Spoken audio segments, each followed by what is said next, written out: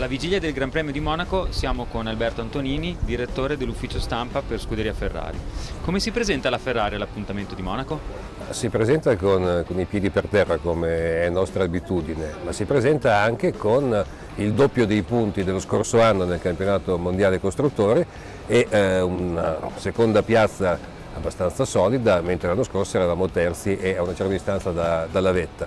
Eh, veniamo anche, ricordiamolo, da una sequenza di 5 arrivi a podio consecutivi nelle prime gare di quest'anno, eh, non succedeva da eh, 2007, l'anno del titolo mondiale di Chini. Monte Carlo è un circuito cittadino, questo pone particolari problemi per la scuderia?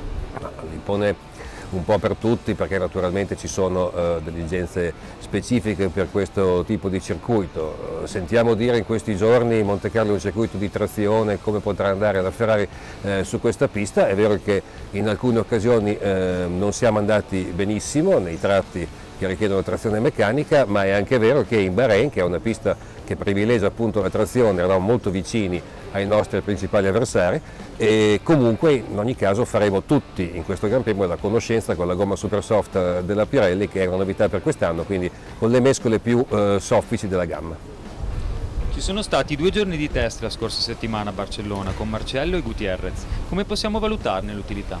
Sono stati utili perché sono serviti a confermare quello che avevamo già visto, cioè che il pacchetto aerodinamico eh, funziona e naturalmente aveva bisogno di eh, essere messo a punto, di affinamenti, eh, abbiamo lavorato anche in questo senso tenendo sempre presente che appunto eh, ci trasferiamo su un circuito adesso di massimo carico che per certi versi è unico. Che cosa possiamo dire dei nostri piloti, Kimi e Sebastian?